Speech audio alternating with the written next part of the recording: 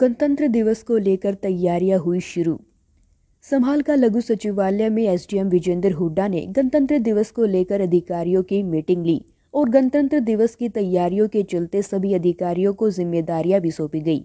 SDM Vijendra Hooda से जब इस बारे में बातचीत की गई तो उन्होंने जानकारी देते हुए बताया कि भापरा स्थित स्कूल में सांस्कृतिक प्रोग्राम का आयोजन किया जाएगा। 22 जनवरी को सांस्कृतिक कार्यक्रम में भाग लेने वाली टीमों का चयन किया जाएगा।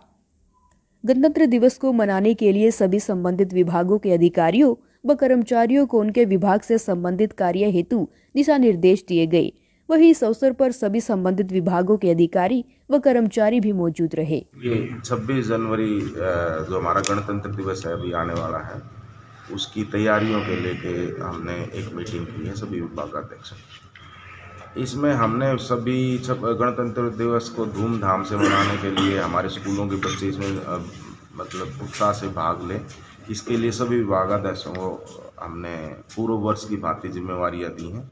कुछ जिम्मेवारियाँ हमने नई लगाई हैं, जो हमने प्रोसीडिंग में सभी विभागों को भेज दी जाएँगी। देखिए, हमारा पूरा वो है कि हम इसको उत्साह से और पूरे जोश उल्लास से मनाएँ, लेकिन कोविड के चलते जो हमारा, जो इसमें सरकार के प्रोटोकॉल्स हैं उसकी सुरक्षा को लेकर उनका पालन करते हुए इसको मनाएँगे।